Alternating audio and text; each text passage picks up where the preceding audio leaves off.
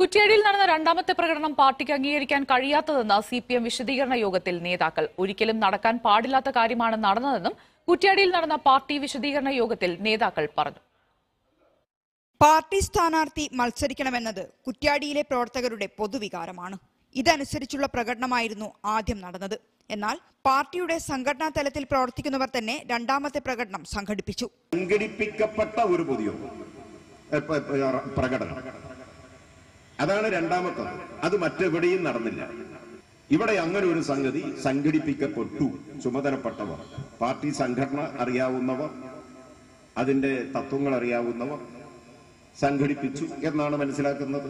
എല്ലാവരും ഇനിയുള്ള ദിവസങ്ങളിൽ അരിയും തലയും മുറുക്കി ഉണ്ടായ കാര്യങ്ങളെല്ലാം വിസ്മരിച്ച് അതെല്ലാം നമുക്ക് പിന്നീട് പരിശോധിക്കാം. പ്രകടനത്തിൽ പാർട്ടി നേതാക്കളെ അപമാനിക്കുന്ന രീതിയിൽ മുദ്രാവാക്യം വിളിച്ച മാന്യന്മാരെ അറിയാമെന്നും ഇത്തരം പ്രകടനങ്ങൾ അംഗീകരിക്കാൻ കഴിയില്ലെന്നും ജില്ലാ സെക്രട്ടേറിയറ്റ് അംഗം കെ പി കുഞ്ഞമ്മദ്കുട്ടി പറഞ്ഞു. പാർട്ടി സ്ഥാനാർത്ഥി മത്സരിക്കണമെന്ന വികാരം കേരള കോൺഗ്രസ് നേതാക്കൾ മനസ്സിലാക്കിയെന്നും ജോസ് കെ മാണിയുടെ ഔചിത്യബോധമാണ് കുറ്റ്യാടി സീറ്റ് തിരികെ ലഭിക്കാൻ കാരണമെന്നും നേതാക്കൾ യോഗത്തിൽ പറഞ്ഞു. മനോരമ ന്യൂസ് കോഴിക്കോട്.